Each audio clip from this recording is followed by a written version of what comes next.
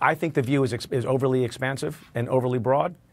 But I, you know, I, I think the other thing that this indicates is th- this is not ultimately going to be decided by That- by Bob Mueller. It'll be a court or it'll be Congress. Let- Let's just, one other thing on this letter.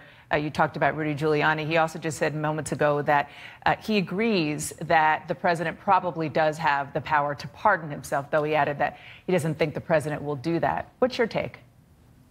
You know, I, I think it would be outrageous for a sitting president of the United States to. par- I think the, the president decided that he was going to pardon himself. I think that's almost uh, self-executing impeachment. Um, whether or not there's a there's a, a minor legal argument that some law professor somewhere in a legal journal can make that the president can pardon. That's not what the framers could have intended. That's not what the American people, I think, would be able to stand for.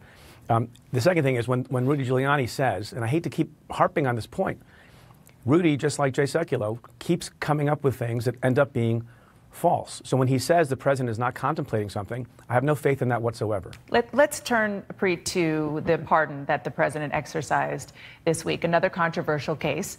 Uh, he pardoned, contra, uh, excuse me, conservative filmmaker Dinesh D'Souza after his guilty plea for an illegal campaign contribution in 2014.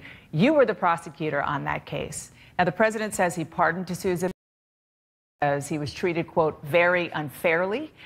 What's your reaction to that? Well, I was the U.S. attorney at the time.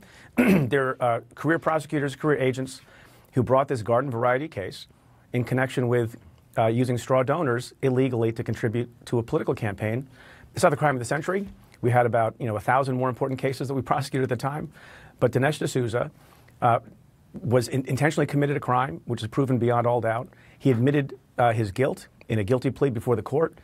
He said he regretted the action. His lawyer, by the way, who's no slouch, uh, Ben Brafman, who has a lot on his plate these days, uh, and is about as aggressive a lawyer as there is, literally said in court, "We have no defense, Your Honor." Um, so, you know, the, the questions about whether or not he was treated unfairly uh, was litigated in the court. the judge, very well respected, Judge Berman, listened to the arguments about that, said it was all hat, no cattle. There was no evidence of that whatsoever. It's a kind of look. We prosecuted more people for that precise crime who were Democrats than Republicans. Most people have never heard of Dinesh D'Souza, uh, even though he's making a lot of noise now. Um, he seems to think that the world revolves around Well, him let's, when he's let's making